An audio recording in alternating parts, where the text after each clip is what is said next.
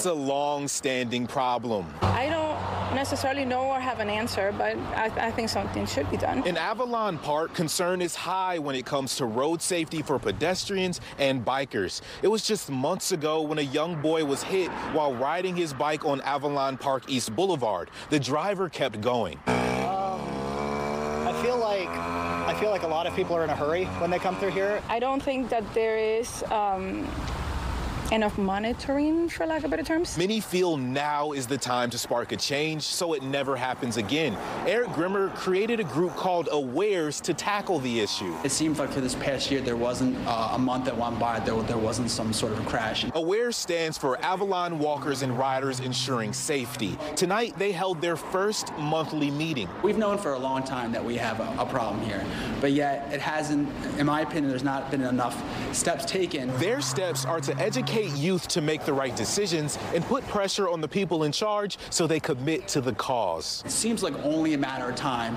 before there's a true tragedy involved. The group is advocating for speed bumps, raised crosswalks, and flashing pedestrian lights, among other things. He's hopeful their outreach will be enough to get it done. It's going to take a village to solve this issue, and I invite anyone in the village to come and join us so we can get this fixed.